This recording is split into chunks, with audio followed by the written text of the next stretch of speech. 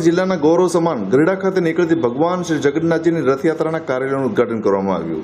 છેલ્લા ત્રેવીસ વર્ષથી ભવ્યતાથી નીકળતી ભગવાન શ્રી જગન્નાથજીની રથયાત્રા ચોવીસમી વખત નીકળવા ઉત્સુક છે.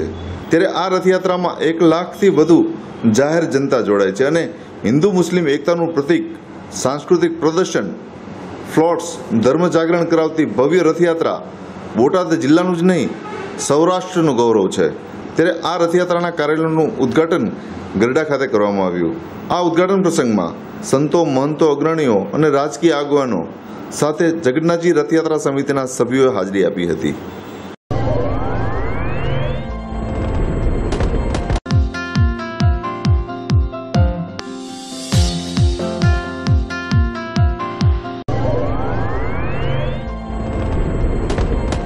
આપણી લોક સંસ્કૃતિમાં એક તપની અવધિ બાર વર્ષની હોય.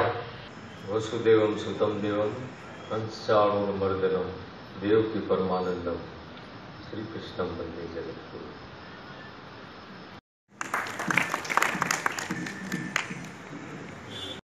અને આપ સૌ કોઈ ભગવાન જગન્નાથજીની રથયાત્રા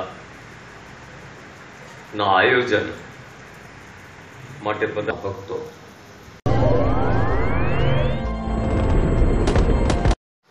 મંચ ઉપર બિરાજમાન સૌ મહાનુભાવો, શ્રેષ્ઠીઓ, હરિભક્તો,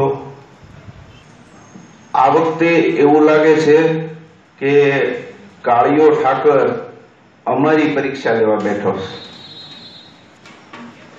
કારણ આજે કાર્યાલયનું ઉદ્ઘાટન અને અમારા ખાસ અંગત જેને કહી શકાય એવા પિયુષભાઈના પૂજ્ય માતુશ્રીનું ગઈકાલે નિધન થયું છે.